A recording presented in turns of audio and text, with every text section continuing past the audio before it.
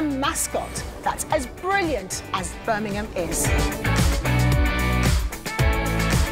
Now, our mascot has got to represent the history, the identity, and the culture of Birmingham and the West Midlands. It could be a person, it could be a character, or an animal.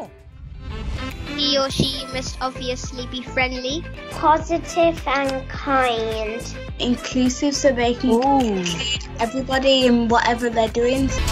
Birmingham has a lot of festivals, so maybe the mascot could be really colourful. Put feathers on the feet to make cuddly feet. Thing. Ravenfall. Ravenfall. Happy that he won gold medal. I put that he had a medal made um, from the Jewellery Quarter and his ancestors came from Birmingham.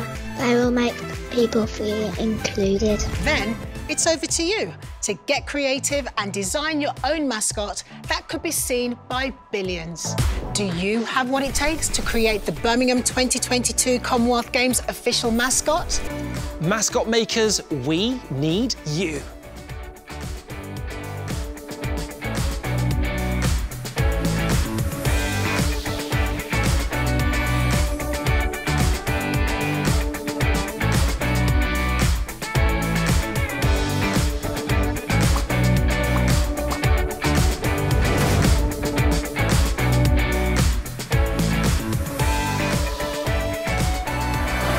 You're the winner of that competition, and he is here to say hello!